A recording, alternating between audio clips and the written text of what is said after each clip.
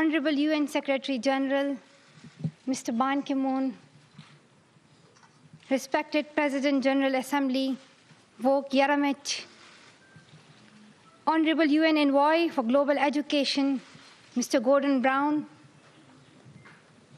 respected elders, and my dear brothers and sisters, Assalamu alaikum. Thank you. Today, it is an honor for me to be speaking again after a long time. Being here with such honorable people is a great moment in my life. And it's an honor for me that today I'm wearing a shawl of Benazir Bhutto Shaheed. I don't know where to begin my speech. I don't know what people would be expecting me to say. But first of all, thank you to God, for whom we all are equal. And thank you to every person who has prayed for my fast recovery and a new life. I cannot believe how much love people have shown me. I have received thousands of good wish cards and gifts from all over the world. Thank you to all of them. Thank you to the children whose innocent words encouraged me. Thank you to my elders whose prayers strengthened me. I would like to thank my nurses, doctors, and the staff of the hospitals in Pakistan, in the UK, in the UAE government, who have helped me to get better and recover my strength. I fully support Mr. Ban Ki-moon, the Secretary General, in his Global Education First initiative, and the work of the UN Special Envoy, Mr. Gordon Brown, and the respected President, General Assembly, Vuk Jeremic. I thank all of them for their leadership that they continue to give. They continue to inspire all of us to action. Dear brothers and sisters, do remember one thing. Malala Day is not my day. Today is the day of every woman, every boy, and every girl who have raised their voice for their rights. There are hundreds of human rights activists and social workers who are not only speaking for their rights, but who are struggling to achieve their goal of peace, education, and equality. Thousands of people have been killed by the terrorists, and millions have been injured. I'm just one of them. So here I stand. So here I stand, one girl among many. I speak not for myself, but for those without voice can be heard. Those who have fought for their rights, their right to live in peace, their right to be treated with, with, with dignity, their right to equality of opportunity, their right to be educated. Dear friends, on the 9th of October 2012, the Taliban shot me on the left side of my forehead. They shot my friends too. They thought that the bullet would silence us, but they failed. And out of that silence came thousands of voices. The terrorists thought that they would change my aims and stop my ambitions. But nothing changed in my life except this weakness, fear, and hopelessness died. Strength, power, and courage was born.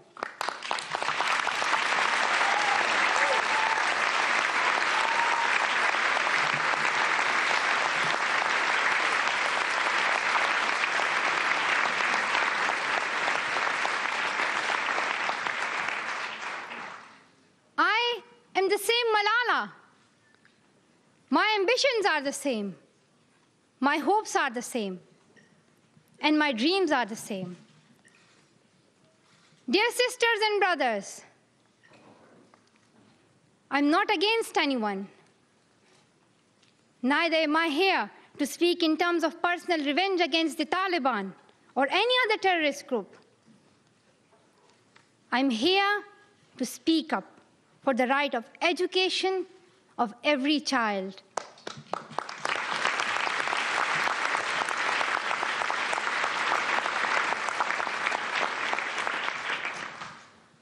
I want education for the sons and daughters of the Taliban and all the terrorists and extremists. I do not even hate the Talib who shot me. Even if there is a gun in my hand and he stands in front of me, I would not shoot him. This is the compassion that I have learned from Muhammad, the Prophet of mercy, and Jesus Christ and Lord Buddha. This is, the, this is the legacy of change that I have inherited from Martin Luther King, Nelson Mandela, and Muhammad Ali Jinnah. This is.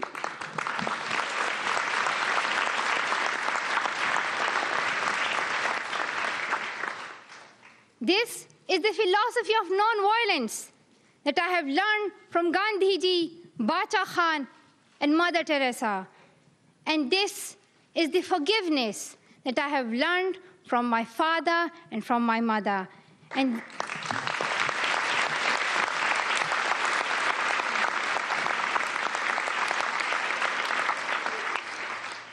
this is what my soul is telling me.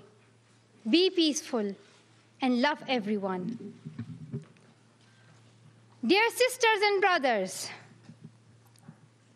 we realize the importance of light when we see darkness. We realize the importance of our voice when we are silenced. In the same way, when we were in Swat, the north of Pakistan, we realized the importance of pens and books when we saw the guns.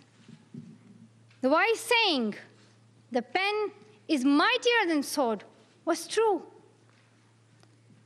The extremists were and they are afraid of books and pens.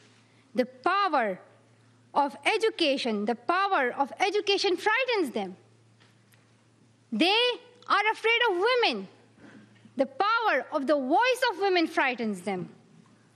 And that is why they killed 14 innocent students in the recent attack in Quetta. And that is why they killed female teachers and polio workers in Khyber Pakhtunkhwa. That is why they're blasting schools every day, because they were and they are afraid of change, afraid of equality that we will bring into our society. And I remember that there was a boy in our school who was asked by a journalist, Why are the Taliban against education?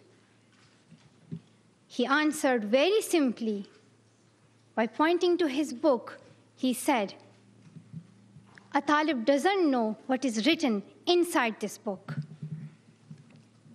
They think that God is a tiny little conservative being who'd send girls to the hell just because of going to school.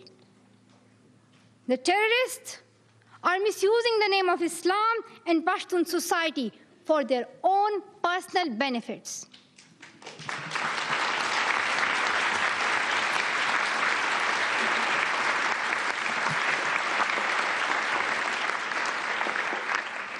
Pakistan is a peace loving democratic country.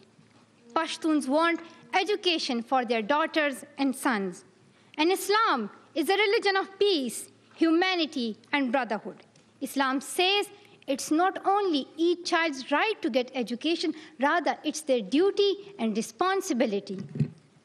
Honorable Secretary General, peace is necessary for education. In many parts of the world, especially Pakistan and Afghanistan, terrorism, wars, and conflicts stop children to go to their schools. We are really tired of these wars. Women and children are suffering in many ways in many parts of the world. In India, innocent and poor children are victims of child labor.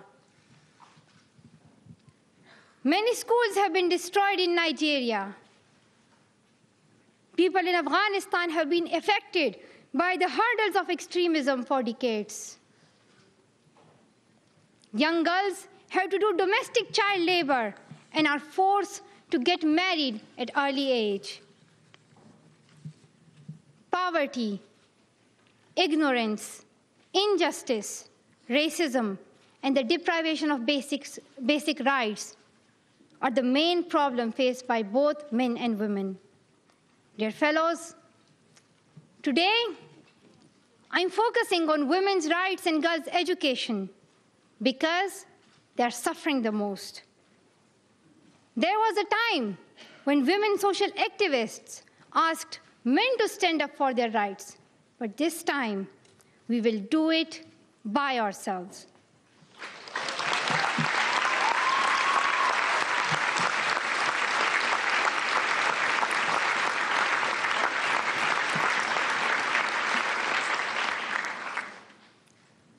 I'm not telling men step away from speaking for women's rights. Rather, I'm focusing on women to be independent, to fight for themselves. So, dear sisters and brothers, now it's time to speak up. So, today, we call upon the world leaders to change their strategic policies in favor of peace and prosperity. We call upon the world leaders that all the peace deals must protect women's and children's rights. A deal that goes against the rights of women is unacceptable.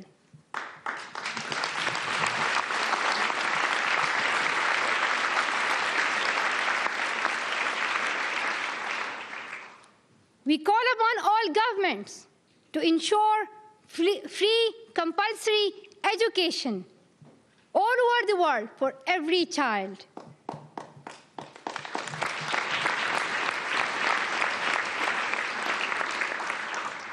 We call upon all the governments to fight against terrorism and violence, to protect children from brutality and harm. We call upon the developed nations to support the expansion of educational opportunities for girls in the developing world. We call upon all the communities to be tolerant, to reject prejudice based on caste, creed, sect, color, religion, or gender, to ensure freedom and equality for women so that they can flourish. We cannot all succeed when half of us are held back. We call upon our sisters around the world to be brave, to embrace the strength within themselves and realize their full potential. Dear brothers and sisters, we want schools and education for every child's bright future. We will continue our journey to our destination of peace and education. No one can stop us. We will speak up for our rights and we will bring change through our voice. We believe in the power and the strength of our words. Our words can change the whole world because we are all together, united for the cause of education. And if we want to achieve our goal, then let us empower ourselves with the weapon of knowledge. And let us shield ourselves with unity and togetherness.